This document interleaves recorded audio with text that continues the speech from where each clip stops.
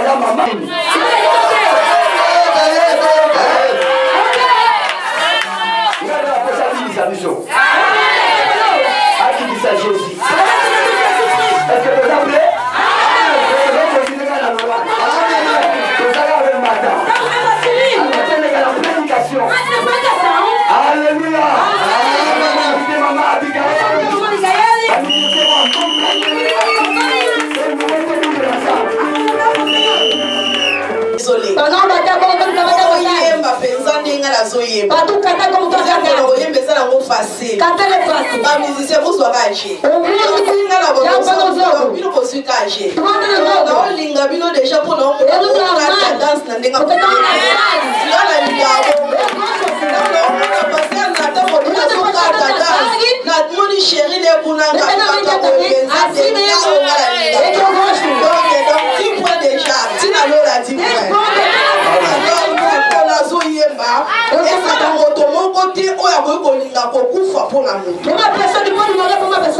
ata mama na yo ata papa na yo ata meme sheri oyo topakajaka na ye makambo ya bien akokufa mpo na yo me yesu wana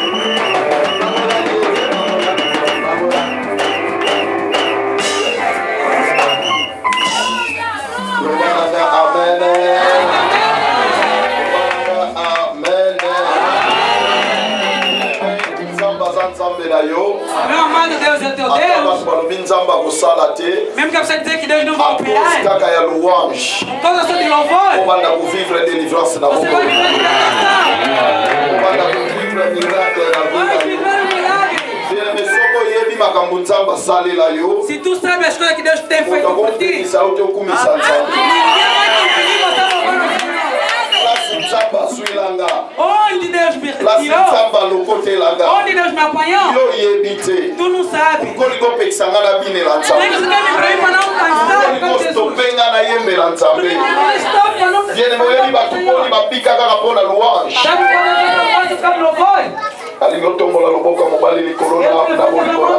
na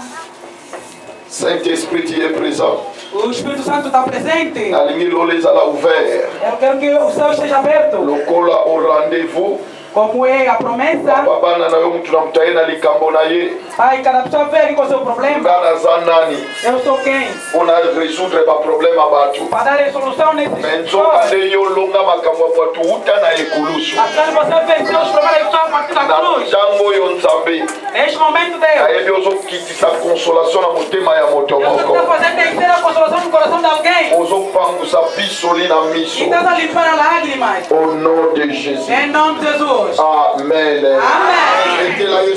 maboko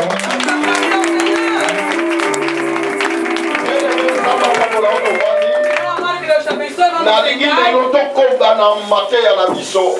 toza na moma oyo ezomema biso penepene na nzambe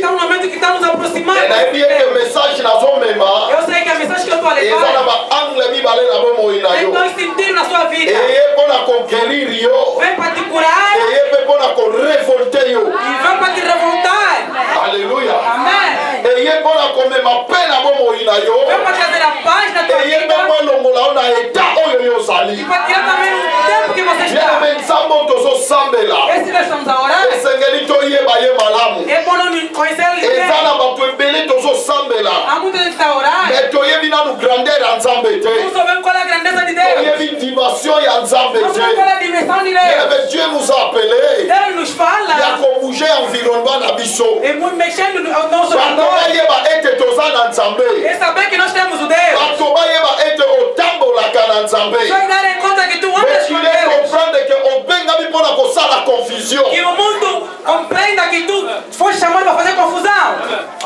alobaki ete lelo eza mokolo na yo lelo eza mokolo na yo nalingi otanga maloba na nzambe psaume 135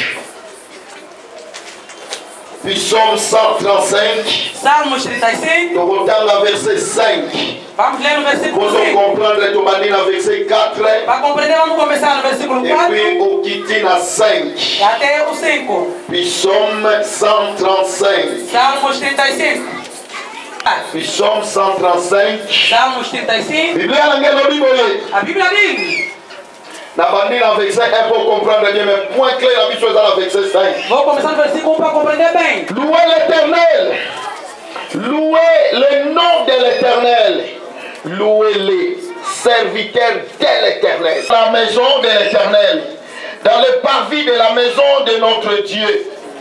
louez l'éternel car il est bon chantez à son nom car il est favorable verset 4 car l'Éternel s'est choisi Jacob, Israël, pour qu'il lui appartienne. nalingi olongola ba jacob ba israel tu remplace par ton nom verset 5 esika nde totelemeli na 6 je sais que l'éternel est grand et que notre seigneur est au-dessus de tous les dieux Amen. Hum.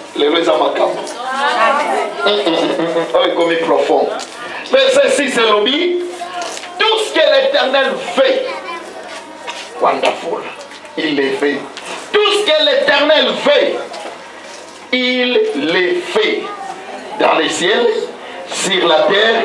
dans les mers et toutes les abîmes. On acclame pour la parole. Bien aimé, nalingi tolobela maloba na nzambe naye mpo tobeta masolo yo na nga te me naye mpo nakumisa nkombo ya oyo abenga nga naye mpo nayebisa yo nzambe ndenge nini asalaka bien aimé loue l'éternel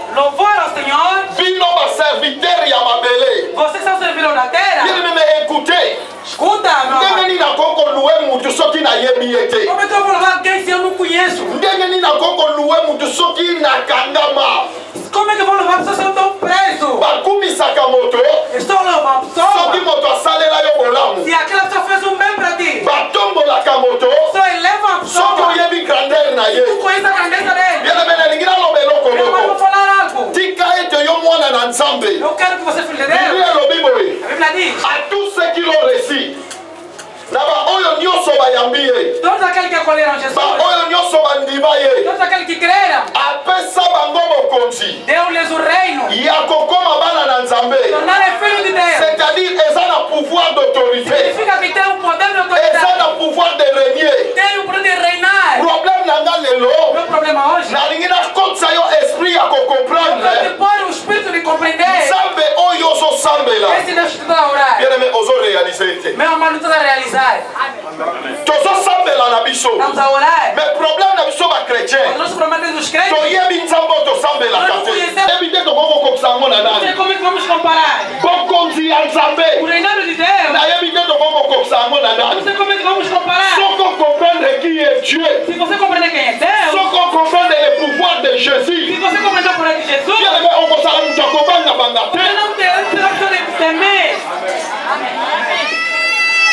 Notre Dieu,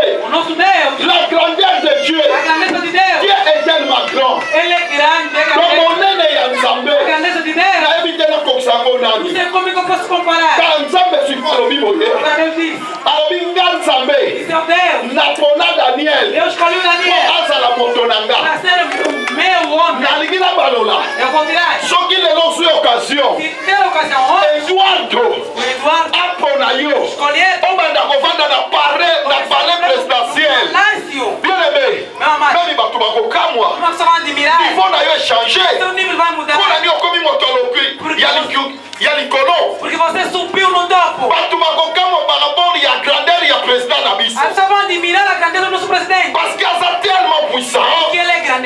aza na mbongo aza na bokonzi nani akoki kosimba yo wana bakonzi ya mabele tala lelo soki nazotambola na nzela bato nyonso bakoyeba nga azalaka na famille ya eduardo nanu nakoti te kobanga no te ina na entre na ntemi mama nzambe pambolo Deixa abençoa. Lobi na yebaki te ke oza mwa sa pasteur. Eu não sabia que ontem era. Tango ofandaki awa. Ofandaki alobi ayi. naza komona moto na motu na yo esiko naza kodute koloba yango mpo nayebi mama te ntango tozonga na nzela pasta bi momi aza kobeta boye wana momi na na biwa ah!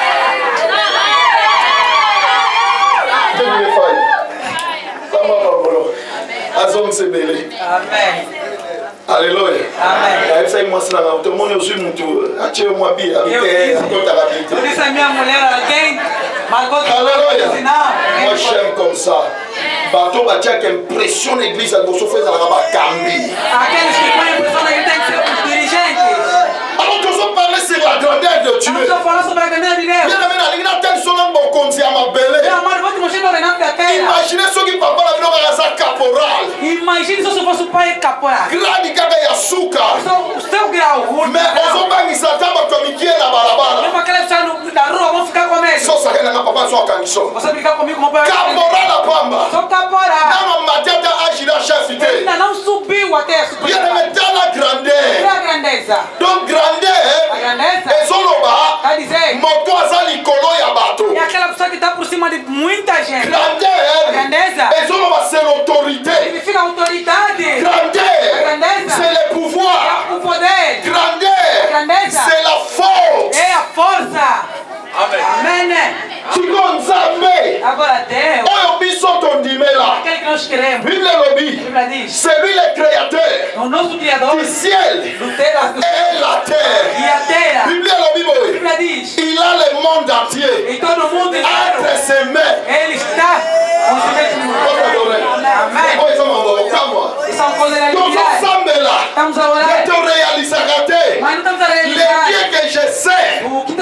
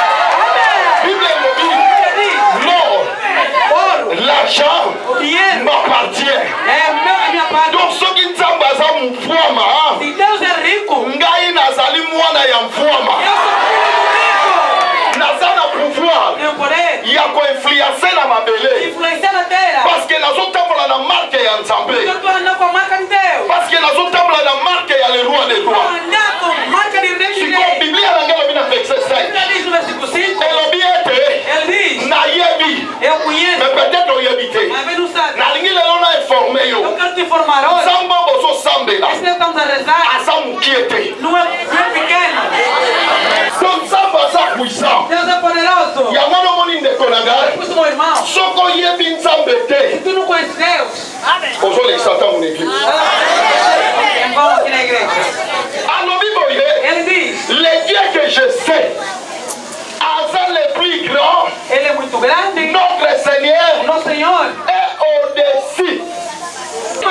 Ya ba nzambe nyonso. Nzambe nyonso. Même le diable que toi tu crées. Même que o diabo. Nzambe na nga. Naza na ntango ya kobanga Satana te. liboso na nga eza na nguya te parceke nzambe na nga aza monene koleka maladi koyeba moto oza na ye imagine oza na yaya moko ya makasi atotumboli moto na balabala omonaka ozwa yaya babezinga espoir na yo ah, eza na motu wana me biso bakretien oyebi nzambe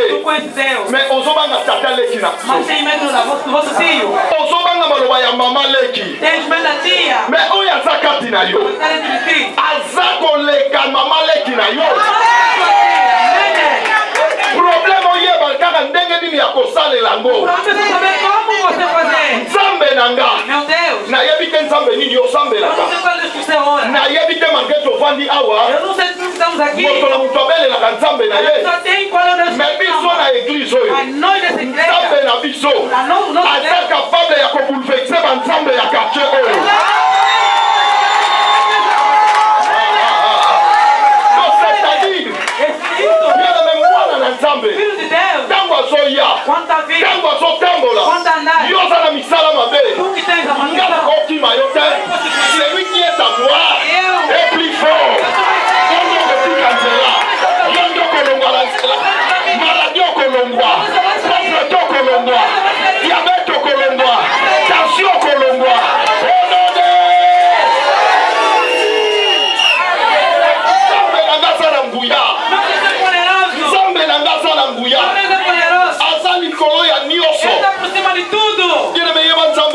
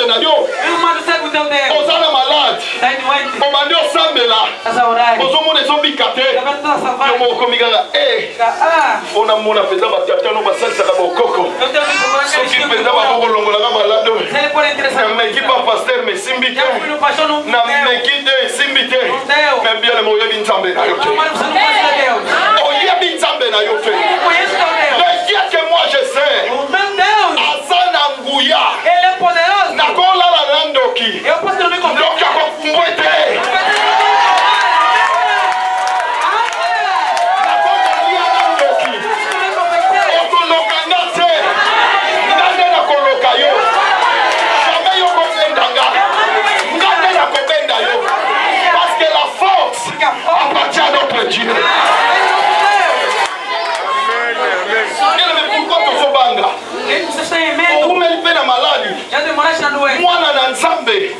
akoka kolala ye moko te soki kaka bato nyonso na ndako babimi kura ekatani azokende kaka na chambre ya jean okoya atika nga te me oyo akela tenebre eza nzambe mobali a voyage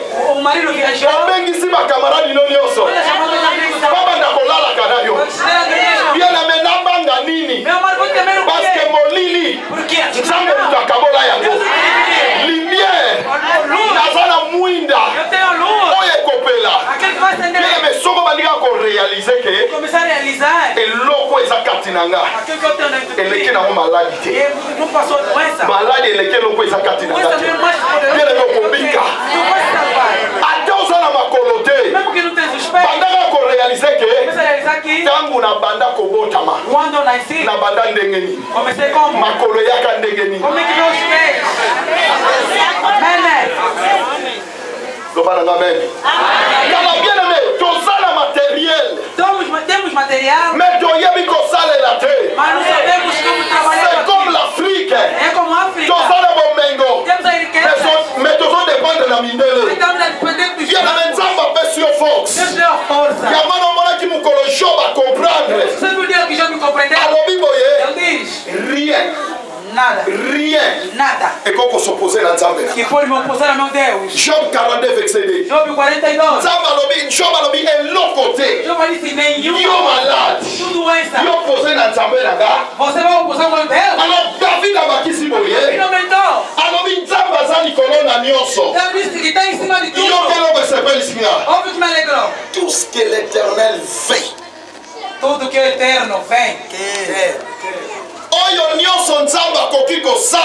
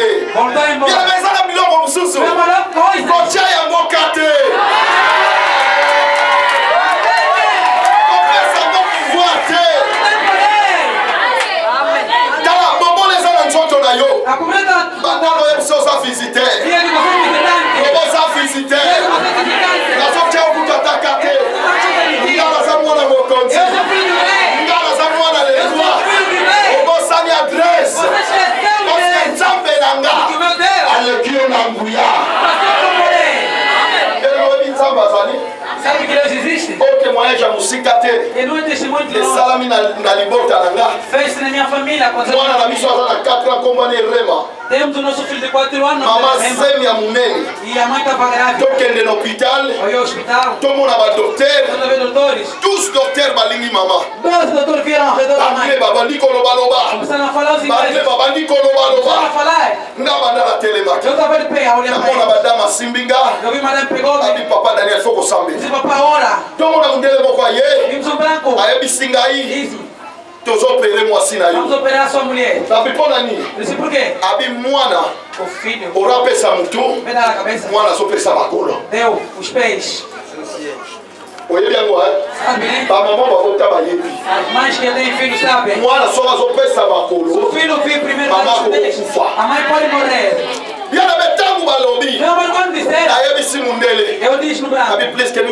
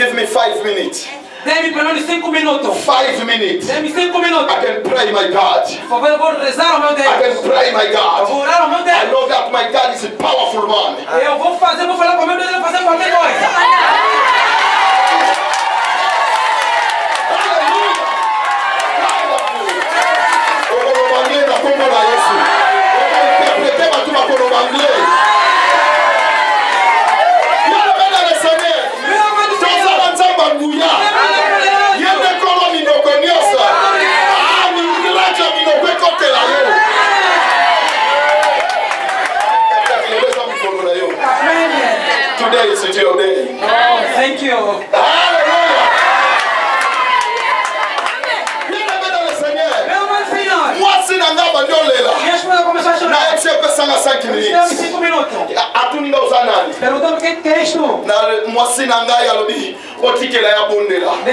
badoktere nyonso babimi bapie nanga babi topesi yo 4 minutes nabi nzambe nanga aza nzambe ata ya 2 seconde nasimbi mbeto hopital nasimbi mwasi na ngai nalobi ozali nzambe tobandi oyemba nzembo lolefungwama eh, lolefungwama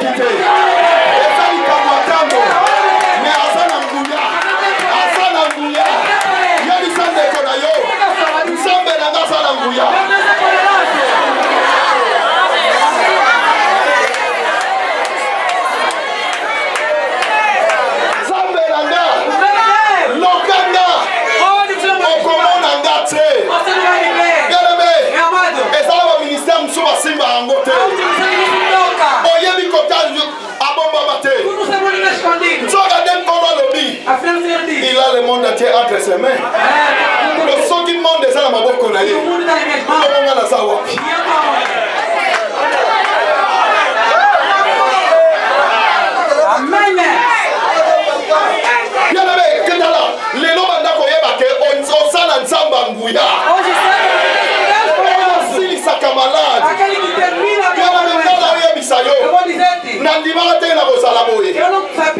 nandimaka te na komonte bavio nayebisaka mwasi na nga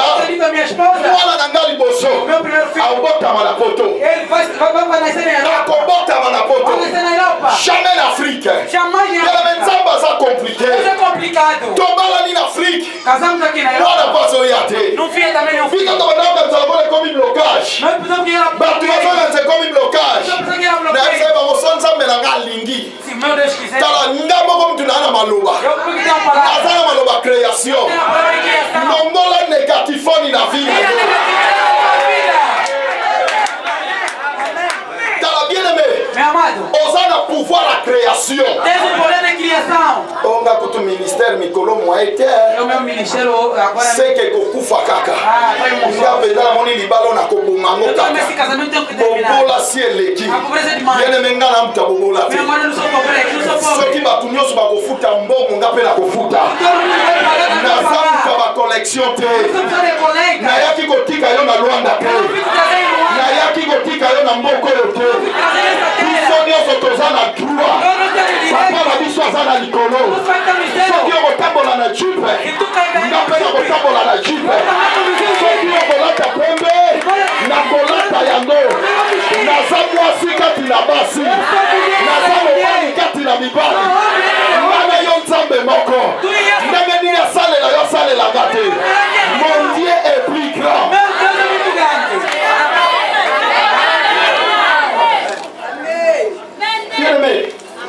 oyebisaka maladi ko ozano maladi tala maladi yango loba na pandisite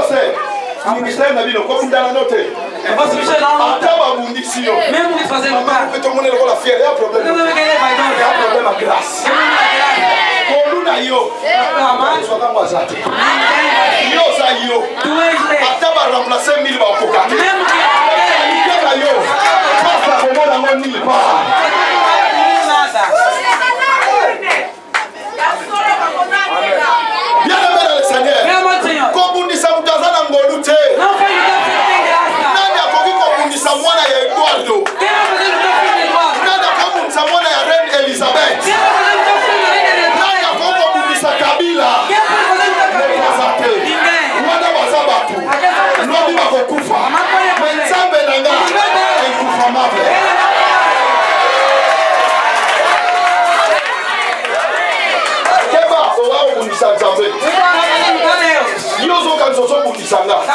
mais si obundisi nzambe yango wana soki omoni obundisi obundisi koyoka soni te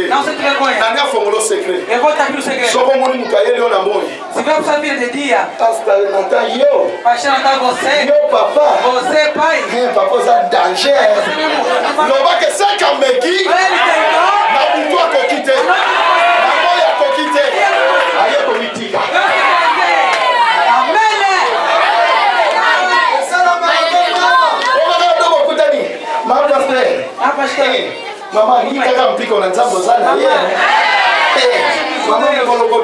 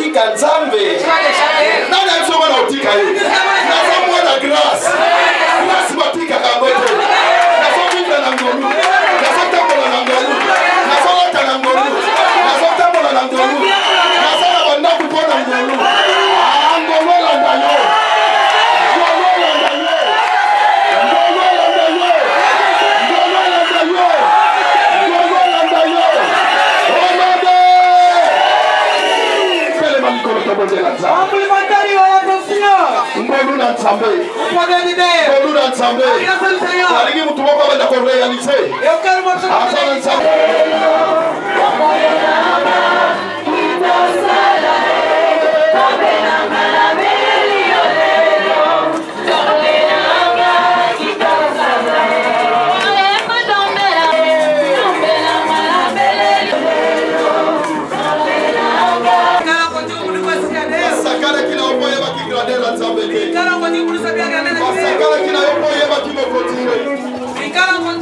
te nalingi lelo osambela lokola moto akomi na force mosusu ebisoke saint esprit ekokita lisusu bieneme bato bakangaki yo balobaki okokufa na décembre me mopepe bakangaka yango te bato balobaka ke mombungu na yo babendaka yo mbongo na ndenge ya kisi soka nde yo za mopepe bakoka kobenda yo te tokola loboko mobali likolo na molimo na nzambe tolingi tobondela lokola bato baza na tata nguya nayebi nde soki olingi osala likambo kosala yango papa tala maladi na nga papa tala blokage na nga papa tala pour situation na nga tala chômage na nga tala mombungu na nga ekiti banda kobondela sikoyo banda kobondela nalingi nabondela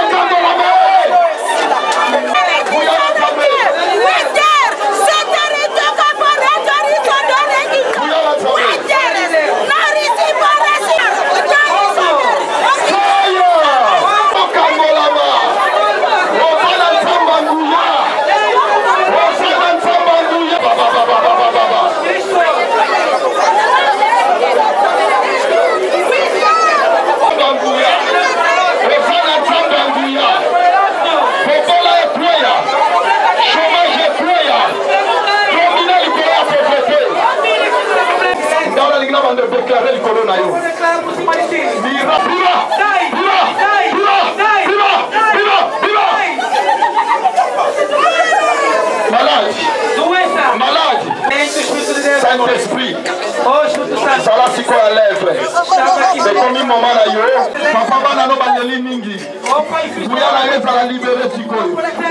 libere sikoyo opere sikoyo